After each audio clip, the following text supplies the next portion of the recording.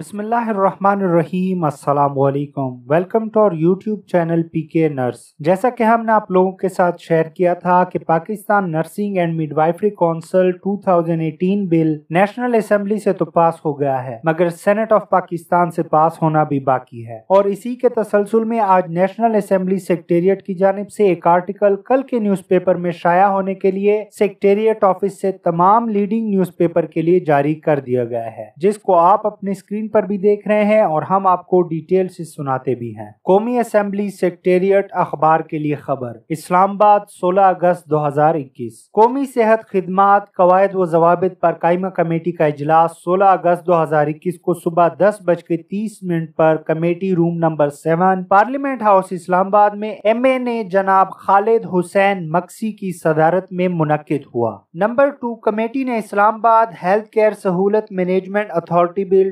2021 government bill पर तफसील से तबादला ख्याल किया। तफसीली गौर व गौस के बाद कमेटी ने बिल के मसवदे पर नजरसानी का फैसला किया। इसलिए कमेटी ने Islamabad health care facilities management authority bill 2021 government bill को अपनी अगली मीटिंग तक मुलतवी कर दिया। कमेटी ने मजीद पाकिस्तान नर्सिंग कौंसिल तरमीमी बिल 2021 गवर्नमेंट बिल और Pakistan allied health professional council bill 2021 government bill पर मजीद तबादला ख्याल किया। दोनों कानून साजी पर तफसीली गौर व गौस के बाद कमेटी ने वजारत को हिदायत की कि वो स्टेक होल्डर से मुशावरत करके तरमीम को शामिल करे। इसलिए कमेटी ने पाकिस्तान नर्सिंग कौंसिल तरमीमी बिल 2021 गवर्नमेंट बिल और Pakistan allied health professional council bill को मौखर कर दिया। 2021 गवर्नमेंट बिल अपनी अगली मीटिंग तक मौखर ही रहेगा। नंबर फोर, कमेटी ने Islamabad health care regulation तरमीमी bill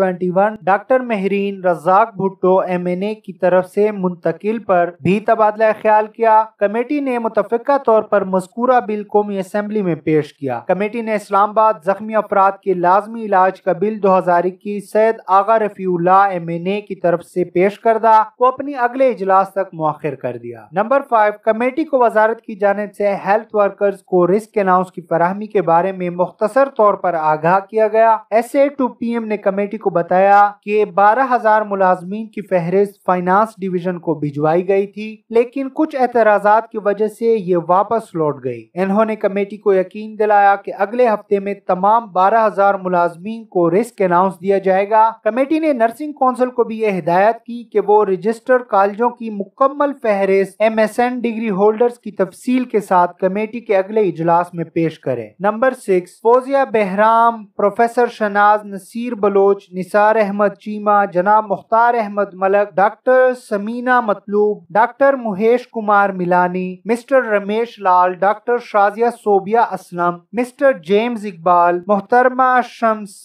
Syed आगा रफीउल्ला और डॉक्टर महरीन रजाक भुट्टो के साथ बिल के मूवर ने इजलास में शिरकत की। अगर आप लोगों के लिए मुख्तसर सा खुलासा इस आर्टिकल का हम बयान करें तो इसका सिंपल अल्फाज में मतलब ये है कि Pakistan nursing and midwifery council bill के पास होने में ताखीर कर दी गई है। और आपको यहाँ पर यह भी बताना हम ज़रूरी समझते हैं कि Pakistan allied health professional council bill को भी मौखर कर दिया गया है। आपको ये क्लियर अल्फाज में हम बता दें कि Pakistan allied health professional council bill हमारे पैरामेडिकल स्टाफ के लिए है और इसको भी मौखर किया गया है। साथ ही आपको बता दें कि हेल्थ वर्कर्स के लिए रिस्क अलाउंस की बारह हज़ार मुलाजमीन की समरी फाइनेंस डिवीज़न को भिजवाई गई थी, जिसमें तमाम पैरामेडिक्स और हेल्थ केयर वर्कर शामिल हैं। उसकी तफसीलात और फाइनेंस रिलीज़ करना भी सेक्रेटेरिएट के अगले मीटिंग तक मौखर कर दिया गया है। लेकिन यहाँ पर यह बताना आपको हम लाजमी समझते हैं कि हमारे जितने भी बारह हज़ार मुलाजमीन है हेल्थ केयर वर्कर्स हैं, उनके लिए रिस्क अनाउंस अगली मीटिंग तक मौखर कर दिया गया है। उम्मीद करते हैं कि अब आप लोग इस आर्टिकल का मकसद समझ गए होंगे और ये वीडियो आपके लिए इंफॉर्मेटिव रही होगी। वीडियो देखने के लिए शुक्रिया। अल्लाह हाफिज।